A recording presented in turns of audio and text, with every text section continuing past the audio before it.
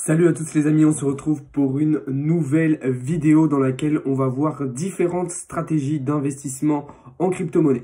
Alors quand je parle de stratégie, évidemment c'est un terme très vaste euh, qui regroupe énormément de choses. Là précisément ce qu'on va voir, ça va être définir une somme à extraire de votre revenu, de votre salaire à investir en crypto-monnaie. Que faire de cette somme? Dans quel portefeuille l'envoyer? Plutôt en spot, plutôt en futur? Que faire de vos gains?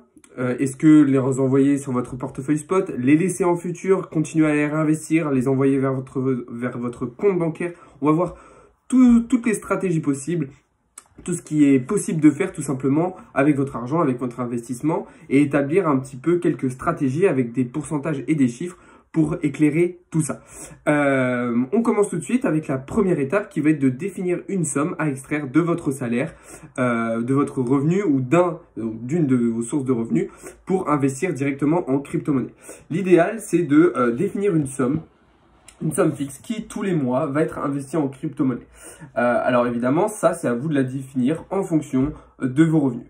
Moi, personnellement, je peux considérer que 10% d'un revenu peut être investi en crypto-monnaie. Vous pouvez, vous pouvez décider euh, que 10% peuvent être investis en crypto-monnaie. Après, tout dépend de vos dépenses, de ce que vous avez besoin, C'est vraiment subjectif et personnel, c'est pour ça que je ne peux pas donner une somme précise. Mais je considère que 10% d'un revenu, d'une source de revenu, ça peut être intéressant de l'investir en crypto-monnaie. Une fois que vous avez défini cette somme et donc tous les mois ou alors toutes les deux semaines ou tous les deux mois. Là aussi, c'est à vous de définir quand est-ce que se font euh, les virements. Moi, personnellement, je trouve que tous les mois, c'est intéressant. Ça permet d'avoir des revenus réguliers, enfin des, versements réguliers et un capital qui grossit régulièrement. Donc, euh, l'idéal, ça va être donc d'envoyer tous les mois euh, cette somme vers, par exemple, Binance. Et là, vous allez me dire, OK, mais dans quel portefeuille je l'envoie? Et tout dépend de vos objectifs. Si vous voulez plutôt investir à long terme, je vais vous conseiller de décaler, on va dire, de mettre 75% de ce versement dans votre portefeuille spot et les 25 autres dans votre portefeuille futur. Inversement, si vous voulez plutôt investir à court terme, je vais vous conseiller d'investir plutôt les 75% de cette somme en futur et laisser seulement 25% en spot. Je rappelle, le spot, c'est là où vous allez holder vos crypto-monnaies, les acheter et les garder plutôt à long terme, alors qu'en futur, on va faire du trading avec des effets de levier. Donc voilà, ça c'est la première étape. Maintenant, que faire de vos gains? Parce que ça, c'est une question très importante. Vous avez plusieurs solutions. Je vais parler notamment des gains en futur parce que évidemment, les gains en spot sont plus sur du long terme et donc moins réguliers. Vos gains en futur, vous avez euh, plusieurs solutions. J'allais dire deux solutions, mais en fait, vous en avez même plus que ça. Vous avez plusieurs solutions.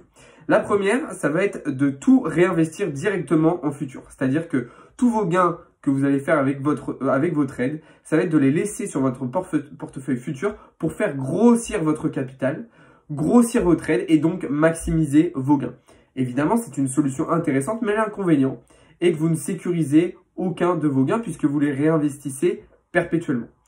Une autre solution va être de séparer en deux euh, vos gains, de laisser une partie en futur donc pour continuer à faire grossir votre capital et d'envoyer le reste dans votre portefeuille spot pour se servir de vos gains en futur pour investir à plus long terme dans des crypto-monnaies.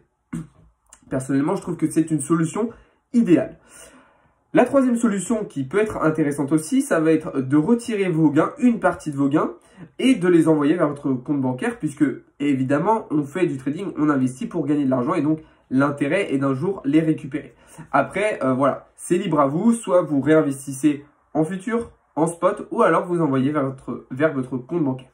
Si vous décidez d'envoyer votre compte vers votre compte bancaire, je vous conseille tout de même de séparer cette somme, de ne pas tout retirer, tout mettre votre compte sur votre compte bancaire, de laisser tourner une partie euh, en futur ou en spot.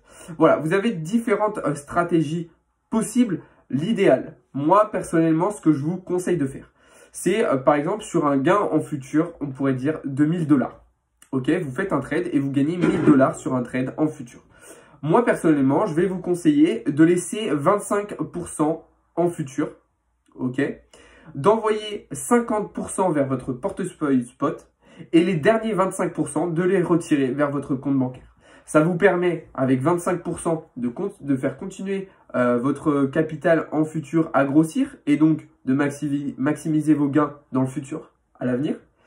D'envoyer 50%, donc la moitié de tous vos gains vers le spot pour investir à long terme. Et les derniers 25% pour se faire des petits revenus euh, réguliers qu'on envoie donc vers votre compte bancaire. C'est clairement moi la stratégie que je conseille le plus, que je trouve la meilleure, l'idéal. Je répète, donc sur par exemple un gain de 1000 dollars, envoyez 25% vers votre compte bancaire 50% vers votre portefeuille spot et gardez les dernières 25% euh, sur votre portefeuille futur pour faire grossir votre capital.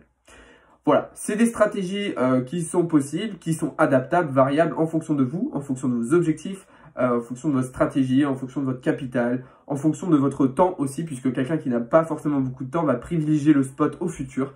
Donc voilà, euh, si vous avez des questions par rapport à ces stratégies, n'hésitez pas à me le dire en commentaire ou en message privé sur Instagram ou sur Telegram.